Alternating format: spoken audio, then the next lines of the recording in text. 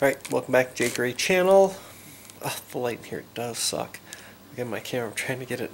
Uh, uh, Alright, we're gonna go with this. But anyway, um, I said I'd do a follow up about um, talking about, you know, uh, how it's okay to move on. Like, um, let's say you go to a place and you don't feel comfortable, or maybe you get real bad service, you know. Um, it's, it's okay to look for another place. I know you are kind of limited though, um, especially like with you live where I live in, in Minnesota, I didn't have very many choices. Okay, so uh, kind of walk it through. You know, before I had the bad teeth pulled and whatnot, I was determined. I wanted to see this guy that I seen an infomercial on Saturdays. I seen the before and afters. I was like, this guy's the greatest. I gotta go. I I have to go there. This I don't care if it costs seventy five thousand dollars. That that's a guy who's doing my teeth. You know and I, and and that's how I looked at it. I was like, I am gonna see this. This is gonna be the dude, right? Okay. So you know, I first before that I go see a, a major chain brand type uh, that's known for it. They have commercials for. I don't really want to say their their their name or anything, but you know, I went and I just checked them out or whatever, and I found out that um, I, I would have had to see quite a few different dentists. Like I would have had seen one to oh, excuse me, take my teeth out, the bad teeth out, I would have had to see an oral surgeon. Ooh, tacos, right? So, so I would have had to see another one for something, something else, right? So I, I decided I, I wanted to kind of, you know, I, I looked into it because first of all, I heard it was a little bit cheaper go to go with uh, the the national brand name one. Okay, so then there's this other place that does uh, that does the uh, infomercial by by my house that I seen. So uh, and I'd seen their work and I was like, that's that's where I'm going. That's the one. And I mean, I was set on it. And, and the thing is, I hear a lot of people saying it too that uh, you know after they've seen somebody else get work done, I want this guy to do it. I want that, and they are set that no matter what, that's the guy who's going to do their teeth. And, and I, I feel you. I feel you because I, I've been there and I said, hey, that's the guy who's doing it. So anyway, the guy who I decided that was going to do my teeth, right?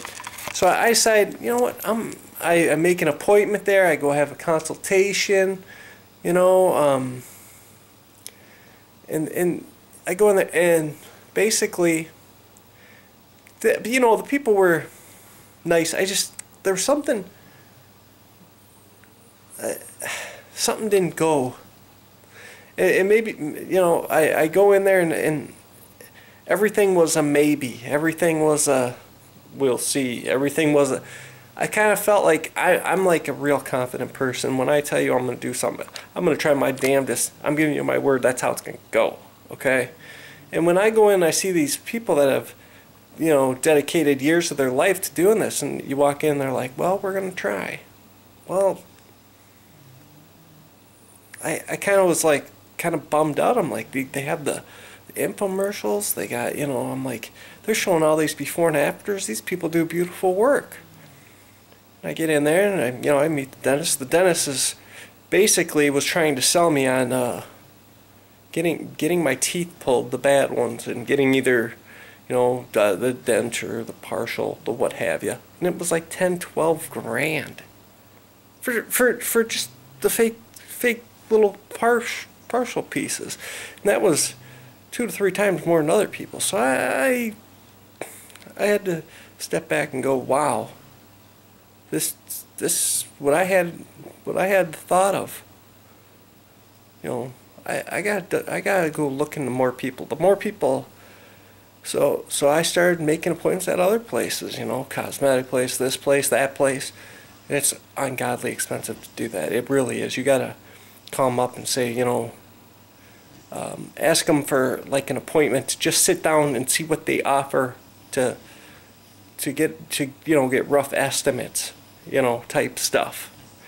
Because um, once you make that appointment, you know, you, the appointments, they always want loads of X-rays. They always want loads of that, but you know, just get a rough idea of what you need to have done from at least one reputable dentist, and then you can kind of shop around and see where you feel comfortable and all that. So, And, another thing I've been seeing lately is people have been commenting that uh, they like they feel like they're having a lack of communication or something like that with with going to the dentist. It's always I've been hearing oh office worker this and somebody complaining about that and and, and that's a legit complaint. I, I don't I don't care. I'm not you know I don't feel like I'm a whiner by any means, but if something's in the way of my chain of communication, it doesn't sit well with me. So, you know, uh, um, I had sat down when when I went and got my teeth done, and I had to go make appointments with oral surgery. Okay,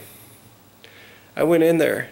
There were dentists waiting in line, and the woman turned her back to us, in oral surgery department, and sat and talked on the phone for 27 minutes.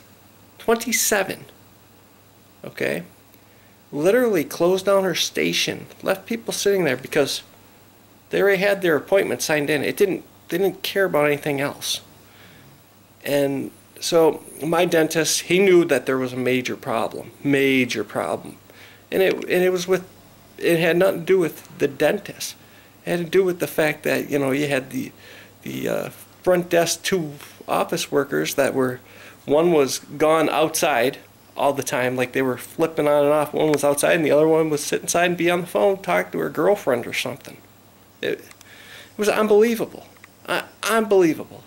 So my dentist had it set up where i went and the prosthodontist or you know the you know he's a surgeon himself. He decided he did it. He was going to do all the surgical work himself because after four and a half months when you can't get somebody just in, it, it, you know, it, it's time to stop playing. So um, one day he just, he talked to uh, the head of his grad department and they decided that they were going to do it and they knew that, and I wasn't the only patient though, so, you know, there were other patients that were having major problems getting in to see oral surgery. So um, what I am saying is when you, when, when you um, are going to get things done like this, don't look and say, um, especially watch the videos. That's see, that's one of the reasons. Like my dentist, great work, beautiful, great work, right?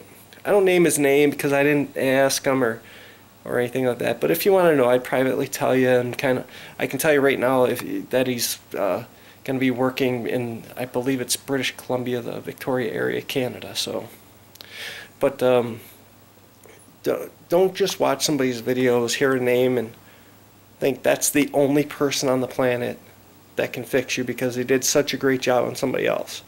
It's a big plus that they did a great job on somebody else. Don't don't get me wrong, it is a big plus.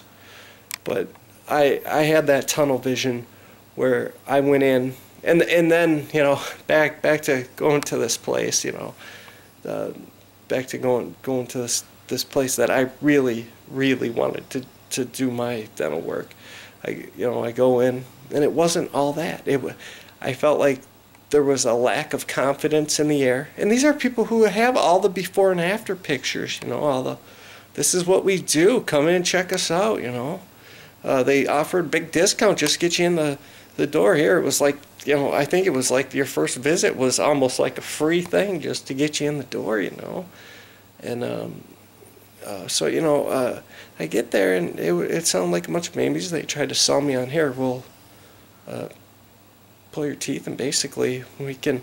They, didn't need like, uh, and I, I I asked them about implants, and I'm sorry I was able to afford them and everything. They looked at me like it was just out of the question. We weren't even going to talk about that.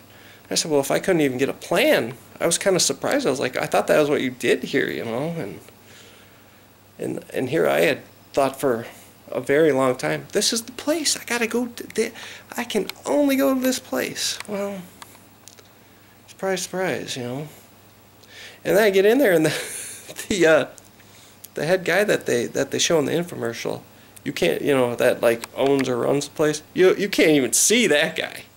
You know, you get to see one of the underlings. Not that they're, you know, you're probably seeing their work on the on the uh, infomercial too, but you know, it's you you kind of feel secondary. You feel like, oh, they put this guy on TV, and then you come in, you're to see a different guy. Not not that he's not just as good, but you just haven't seen his. You know, the the story wasn't about him. It's not.